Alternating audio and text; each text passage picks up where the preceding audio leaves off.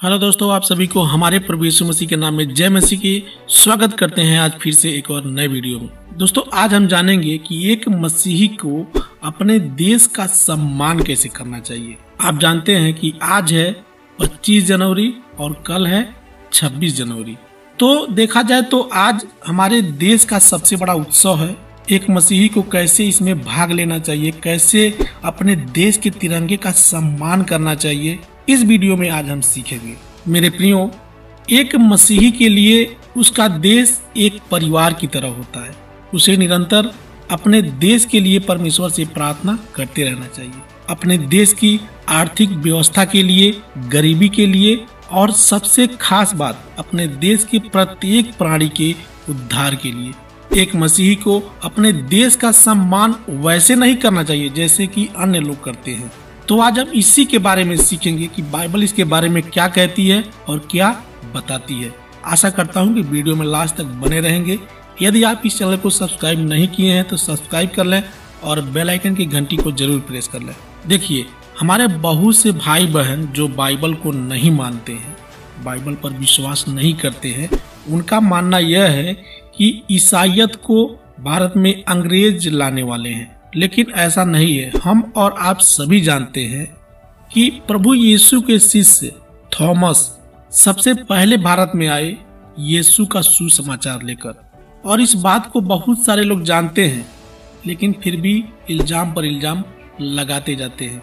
इस देश में सबको अधिकार है, इस देश के कानून का पालन करने का। और बाइबल भी इसका खुलेआम इजाज़त देती है।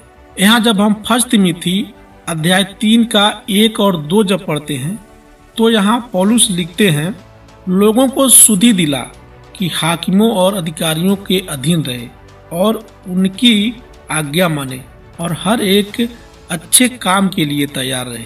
किसी को बदनाम न करे, झगड़ालू न हो पर कोमल स्वभाव के हो और सब मनुष्यों के साथ बड़ी नम्रता के साथ रहे। तो इस देश में रहने वाले हर एक व्यक्ति का अधिकार है। कि हाकिम, यानी कानून व्यवस्था के अनुसार चलना और उसका पालन करना। यदि किसी व्यक्ति को ज़रूरत पड़ती है तो अपने देश के लिए मर मिटने को भी तैयार रहना चाहिए। हमें यह नहीं भूलना चाहिए कि यदि देश सुरक्षित रहेगा तो हम भी सुरक्षित रहेंगे। आप बुरा मत मानिएगा, लेकिन कुछ बातें मैं आपको बताने वाला हूँ, जो आपको बुरी लग सकती है। एक सच्चा मसीही एक सच्चा देशभक्त भी होता है, इसमें कोई संदेह नहीं है। यदि आप बाइबल पर विश्वास करते हैं तो आप कभी नहीं सोचेंगे कि हमारा देश कभी भी खतरे में पड़े। सच्चा देशभक्त वही होता है जो अपने देश, यानी संविधान का पालन करता है। और बाइबल यही सिखाता है कि जो व्यक्ति अपने देश के संविधान का पालन नहीं करता, वह एक देशद्रोही है। अब ऐसे में कुछ लोग ढोंग करते हैं कि मैं एक सच्चा देशभक्त हूँ मैं अपने देश के लिए मर मिटने को तैयार हूँ। लेकिन बाइबल ये सिखाता है कि आप अपने देश के संविधान, यानी कानून का कितना पालन करते हैं। आप संविधान के बताए नियम पर कितना चलते हैं। जैसे समय समय पर जीएसटी टैक्स देना, बिजली चोरी न करना, हमेशा यातायात नियमों का पालन करना, किसी अधिकारी या किसी कर्मचारी को घूस ना देना इत्यादि। यदि आप इन सारे नियमों का पालन करते हैं तो ही आप एक सच्चे देशवासी हो सकते हैं। देखिए, इस दुनिया में बहुत सारे देश हैं। हमारा भारत देश सारे देशों से सबसे महान देश है, क्योंकि परमेश्वर ने स्वयं थॉमस को, यानी प्रभु यीशु मसीह को, शिष्य थॉमस को इस धरती पर भेजा था। नहीं तो और भी बहुत सारे देश हैं। परमेश्वर नहीं चाहता कि हमारे भारत देश पर कोई विपत्ति या कोई आपत्ति आए।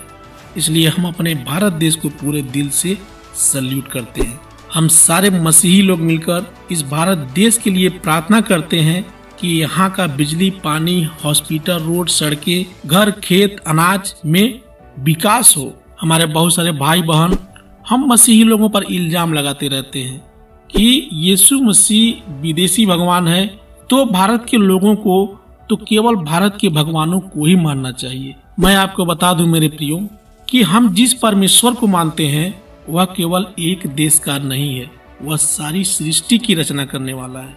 हमारा परमेश्वर इस पृथ्वी को ही नहीं, बल्कि इस पूरे ब्रह्मांड को बनाने वाला है। अब लोग आपस में लड़कर, भिड़कर अलग अलग देश बांट ले अलग अलग जात बना ले अलग अलग धर्म बना ले तो इसमें परमेश्वर का क्या कसूर है? मैं आपको बता दूँ कि परमेश्वर केवल एक देश का नहीं होता है। परमेश्वर तो सारी दुनिया का होता है।